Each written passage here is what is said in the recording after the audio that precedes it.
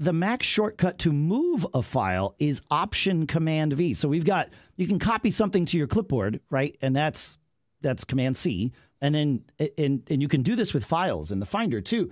And then you can copy it by going somewhere else and doing Command V. Well, if you do Option Command V, it doesn't copy the file; it moves it. I had no idea. And if you hold down the Option key when you look at the Edit menu, the Option key will change it to move to here. hmm What? Check it out. Really? The Finder menus will also, yeah. Yes. Oh, they- I uh, see. they're they're Oh. they're uh, contextual. They're contextual, right? Okay, yeah, yeah, yeah. All right. Ah, So if you're not so- sure what the option key is going to do, open the menu and look, Mm. press the option key, and then you'll get it confirmed before you actually move the thing. before the before the thing happens and is permanent and all of that good stuff. Fascinating. Ah. However, undo should work in the Finder for at least the first thing. I I've think noticed that sometimes it sometimes it does for more than one, sometimes it doesn't, but you can't count on it working for more than one undo. So That's undo fair. quickly. Undo quickly.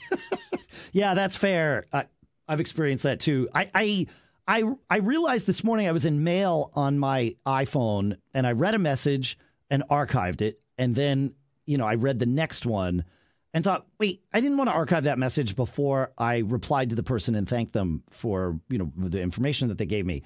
And so I shook my phone to do the undo, which is the way to undo on uh, on an iPhone, and it offered to mark the current message as unread because that was the last action. I thought, oh crap, and then I shook it again, and it gave me a choice. It gave me three uh, choices, or it gave me one choice of three options. Really, I guess that's the, the correct grammar. And one was to remark that message as read, so a redo. One was cancel, don't do anything, and the other one was to unarchive the message. So it it, it I, I had this stack of undos, and and just by shaking my phone, I could move forward or backwards through it. I I did not realize it was quite that robust. I was I was pleasantly surprised.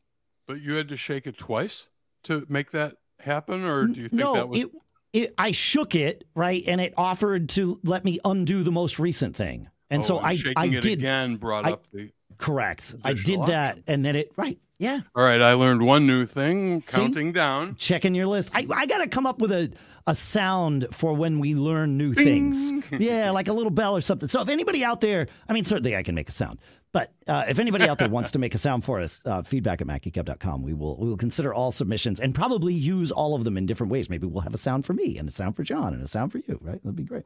I want a cowbell. Okay. I want more cowbell. See, there you go. There you go.